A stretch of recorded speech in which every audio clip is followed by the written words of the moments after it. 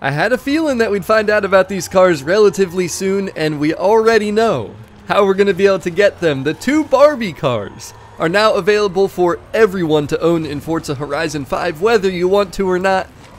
If you go over to your message center, both of them have been gifted to everybody. And if you saw my last video about these two cars, that's kind of what I was expecting. I just didn't see them coming into the game in any other way. Just make sure that you hit download and do not delete if you actually want these cars, of course. I'm not going to be surprised if people hit delete this time.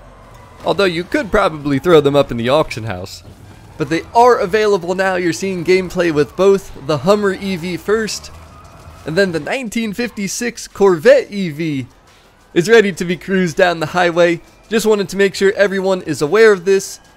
So many people were confused about these and wondering how the heck are we going to get them? Well, there you go. Both Barbie cars have been gifted to everyone.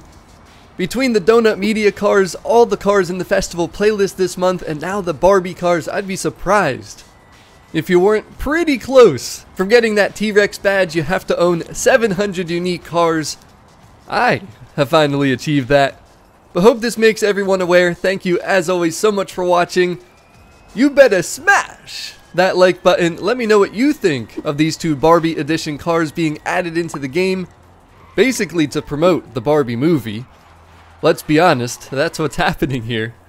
I don't really understand the crossover, but I'll let you all talk about that in the comment section. That's all I got. I'm out. I will see you on the next video.